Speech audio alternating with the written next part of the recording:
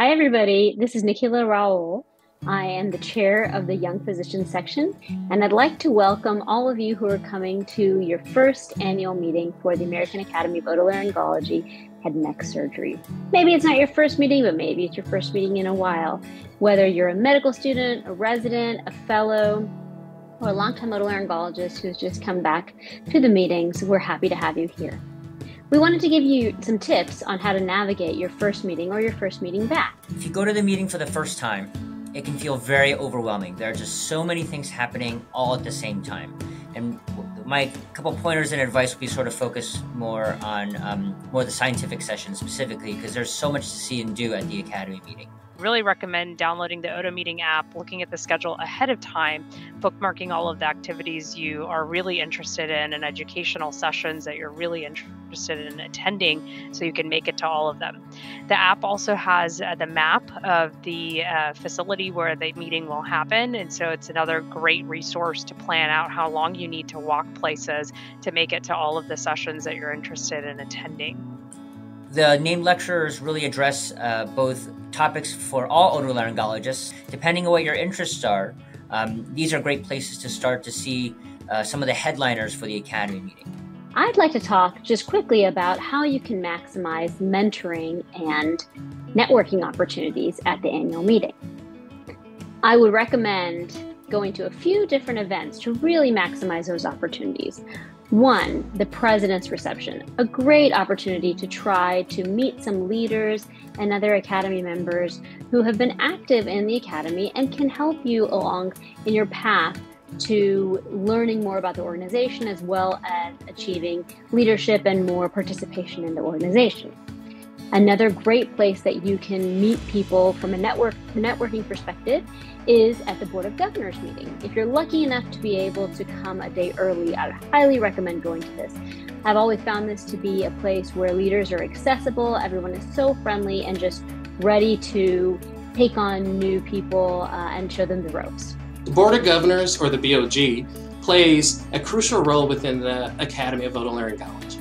We represent the interests and concerns of our Academy members at the grassroots level and we help facilitate communication between the Academy's leadership and membership. First time attendees that are interested in learning more about the BOG should actually consider attending one of our meetings. We typically hold meetings on the Saturday before the annual Academy meeting begins. This year's meetings will be held on Saturday, September 30th in the Davidson Ballrooms. If somehow you're unable to attend, just look for sessions on workshops related to advocacy, leadership development, and practice management within our field. These can provide some insight into the BOG's work and its relevance in your practice. Please do not hesitate to contact me or any of the BLG leadership or Academy staff with any questions. We can provide information on how to become more involved and contribute to the organization's mission. Getting involved in the BOG is a rewarding way to actively participate in the advancement of our field. I hope to see you at the next meeting. Another place that is a great pit stop for you during the annual meeting are committee meetings. Now, that doesn't mean you have to be a member of the committee in order to go to the meetings, but you can attend as a guest because the meetings are fairly intimate and they're pretty small from a roster standpoint, you can really meet new people as well as make your face known and make yourself known uh, so that people who are in the committee, committee are aware that you're interested in participating and getting more involved in the academy. So the education sessions are the next area to explore for first-time attendees. They come basically in two varieties. They are either panel presentations or expert lectures. Expert lectures you should think about as sort of a one hour class on a particular topic given by an expert in the field. Um, and there are so many expert lectures available, you can pick the one of your choosing that you feel like is of most interest to you. The panel presentations tend to be in larger rooms and they are really focused around specific subjects, uh, particular to otolaryngology. And there are usually multiple talks by experts in the field, but sometimes they can be very exciting because they will debate an interesting topic that has some controversy in otolaryngology. So both of those formats offer some real great opportunities for learning, either directly on a one-on-one uh, with an expert, or not one-on-one, but with a single expert, versus a number of experts debating a hot topic or area of controversy for um, uh, for a subject in otolaryngology. If you really want to dive into science, there's the scientific abstracts, which are presenting some of the latest science available. Um, and those sessions are basically run serially through a number of scientific abstracts focused around a topic.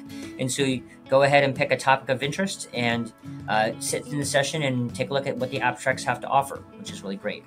And don't forget that there's a little bit more. Um, uh, on your own time exploration of the poster session. So there's great science presented in the poster session, but it's there for you to explore at your pace and leisure, um, and you're not beholden to any specific schedule. And so that's a great time to go. Uh, um, excuse me, a great place to go and explore that kind of science. And while you're there, please don't forget to attend the expo. Um, the expo and the um, industry sponsors are a major part of what makes these meetings possible, and attendance at those at, at the expo uh, really allows our vendors and our supporters to really feel the love as it comes as it relates to uh, the field of otolaryngology. So, if you go to the poster session or even just separately, don't forget to visit the expo. So, I hope between the named lectures education sessions, of which there are panel and expert, um, excuse me, panel presentations and expert lectures, scientific abstracts and posters, you will find something that will uh, really help you learn and get up to date for um, within otolaryngology. If you want to have a good time, I would suggest going to something like the Odos on the Run or the Sunrise Yoga. Again, a smaller, intimate setting where you can find some like minded people who maybe want to get up super early with you uh, and do uh, some good physical activity. I hope you enjoy your first meeting, and I think it'll be one to remember. Thanks so much.